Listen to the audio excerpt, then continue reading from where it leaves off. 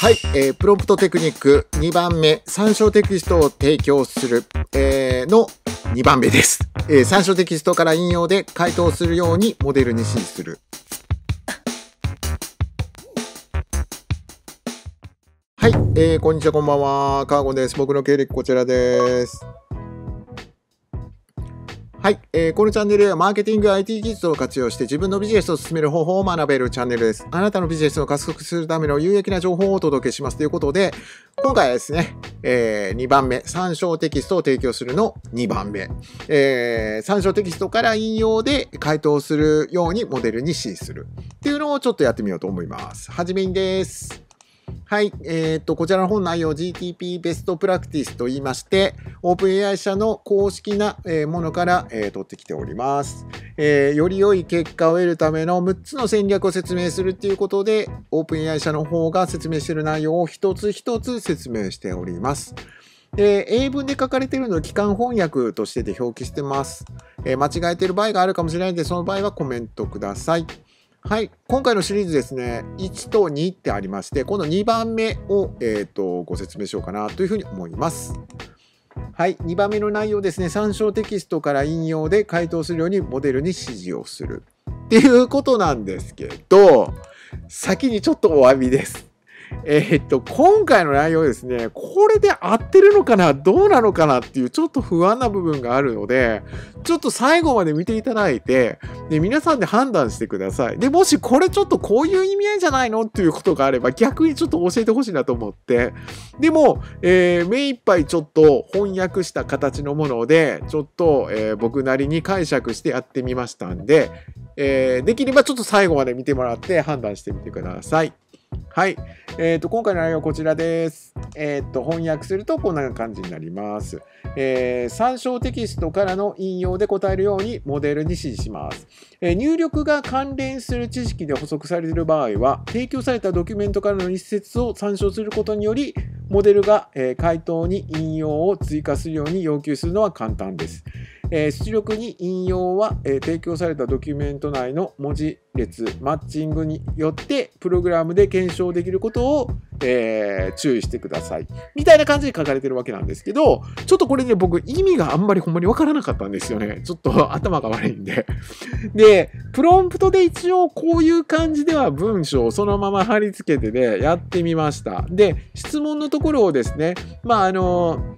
えっ、ー、と、こちらの方は、えー、カチカチ山ですね。カチカチ山の内容を、えっ、ー、と、与えまして、で、質問としてはこの物語から学ぶ教訓を教えてくださいということで、プロンプトを書いてみました。そうすると、こんな感じの内容で返ってきました。この物語からはいくつかの教訓を学ぶことができます。まず、悪事を働くと、それに対する罰が必ず訪れるということを教えています。タヌキはおばあさんに対して不正を行ったためにウサギから様々な仕返しを受けることとなりました。これを聞いたウサギは親切なおばあさんの仇を討つことにしました。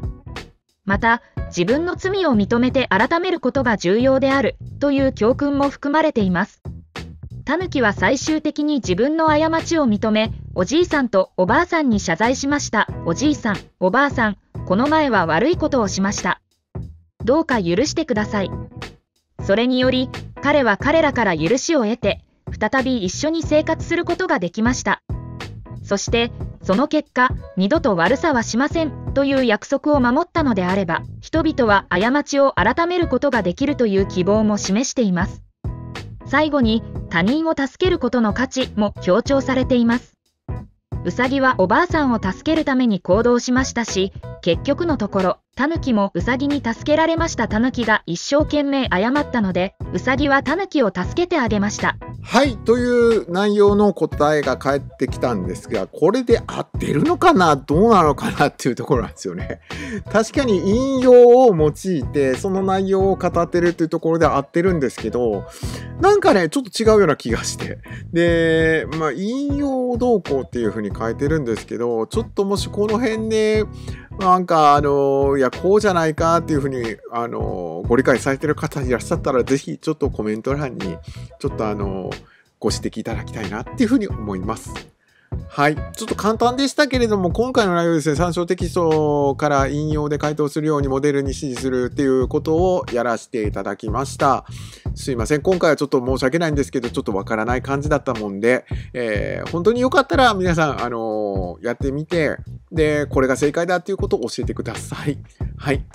えっ、ー、と、次回のプロンプトテクニックなんですけれども、えっ、ー、と、次回はですね、えっ、ー、と、3番目のテクニックになります。え単純な、えサブタスクに分割するっていうところのパートで、えっ、とですね、インテント分類を使用して、ユーザークエリに最も関連性の高い指示を特定するっていう項目をやってみようかなというふうに思います。